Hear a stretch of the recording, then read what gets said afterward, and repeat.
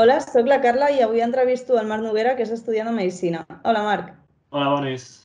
Vale, Marc, quines són les diferències entre Medicina i Ciències Biomèdiques? La principal diferència és que Medicina es basa en la part clínica i assistencial i Biomedicina és més la part d'investigació i recerca. Vale, i en quin curs es fan les pràctiques hospitalàries i com s'avaluen?